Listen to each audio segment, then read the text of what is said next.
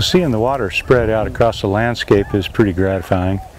The recovery rate is is stunning once you put water back on the landscape. It'll be unrecognizable in a year. It just spreads naturally across this huge floodplain. Fabulous system. Waterfowl must just think this is the best ever.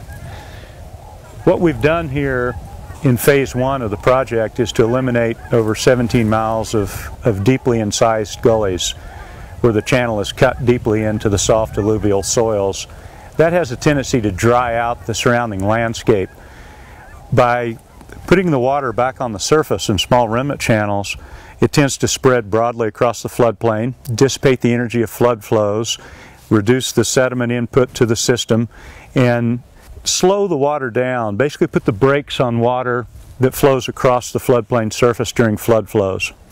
So by doing that, it's absorbed into the surrounding landscape. We increase the groundwater elevation um, within the meadow, and it's released more slowly, more gradually over a longer period of time. It's our belief that these type of projects that tend to put the brakes on flood flows, slow down water movement, restore groundwater levels, have a tendency to have profound effects for downstream water users all the way to the delta. We see water spread across the floodplain, although we only have a, a short field of vision here. This same theme continues across the entire 3,000 feet of floodplain at the point we're now standing, creating quite the uh, mecca for the uh, migratory waterfowl.